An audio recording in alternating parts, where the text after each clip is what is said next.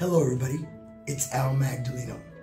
In this video, I'm going to show you some of the strange and unexplainable anomalies that I came across while in South America.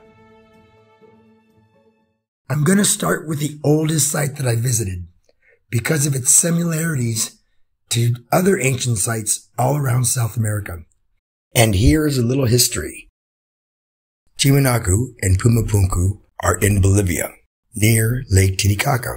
All the civilizations living in the area have all said that Pumapunku was in ruins before they got here. So who built these? And get this. The astronomical alignments of the site would put this at 17,000 years ago, making it the oldest site on Earth. So now I'm going to show you some precision stonework that you're not going to believe. And also I'm going to show you some similarities to other ancient sites in South America. So here we go. This is what's left of Pumapunku.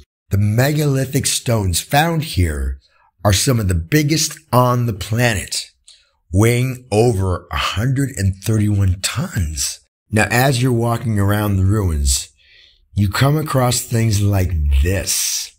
How did they do this? It's very straight here. And look at this.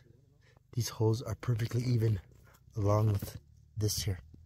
These holes all go to a certain depth. Let's see if we can do it here. Watch. Okay, so this one goes right there. This one goes right there. Same. They're all the, they're all the same. They're all drilled the same. And and look at look at these holes.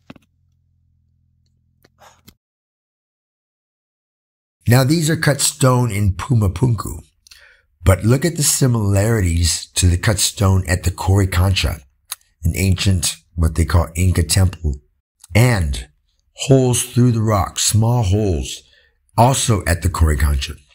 In Pumapunku, there are many megalithic stones with keystones. Now keystones are on most of the ancient, ancient megalithic sites around the world. Here are just a few. In Cambodia, in Egypt, in Ethiopia, in Iran, and many more continents that have ancient megalithic sites. Then we have these designs. And what I want to point out here is that these designs are all over South America. This is Ollantaytambo in the Sacred Valley of Peru. Now, on these megalithic walls, you'll see the same design faintly.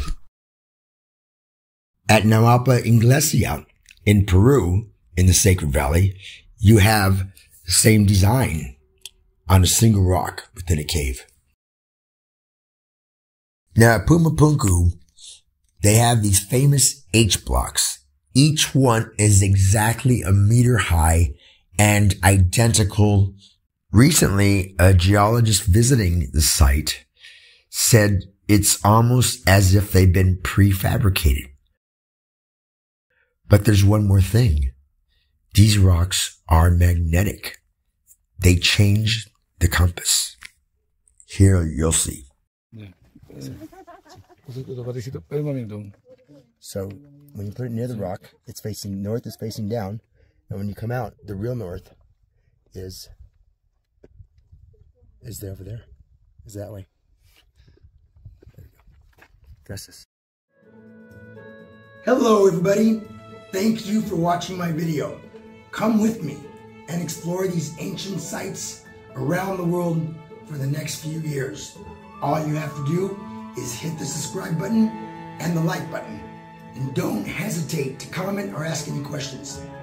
So hold on to your hats, guys. This journey is just beginning.